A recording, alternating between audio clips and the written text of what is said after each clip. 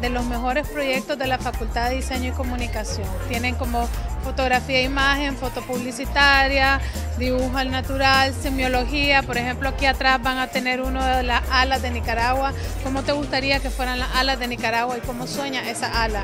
También tienen de branding todo lo que es el marketing turístico, del rescate de lo nuestro. Hay una gran diversidad de moda, de cómo transfiero de un destino turístico y destaco las cualidades de ese destino turístico y lo pongo en una moda. Bueno, The Marín es una marca para comercializar dulces típicos nicaragüenses. Me inspiré luego de hacer algunos viajes uh, y ver cómo venden en otros países su producto.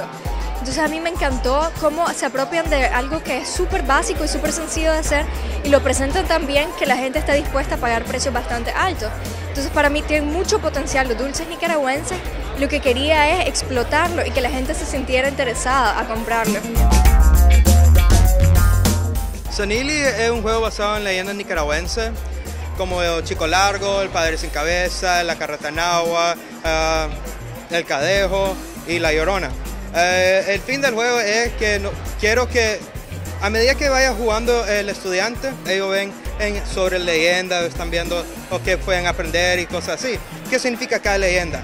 ¿Qué te aporta cada leyenda? Y darte, dar no solamente eh, cultura, pero también una educación común y civilizada a los niños. Revelatio es una pieza audiovisual inspirada en la tendencia destructiva del ser humano que está dividida en dos partes. La primera parte se basa en un cortometraje que es en un futuro en el cual la humanidad está al borde de la extinción y la segunda parte es un video musical en el cual la canción escrita por mí, también cantada por mí, este, nos inspira a, a tener un cambio de actitud.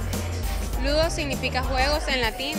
Esto es un proyecto para niños implementando el diseño y la ilustración de juegos didácticos.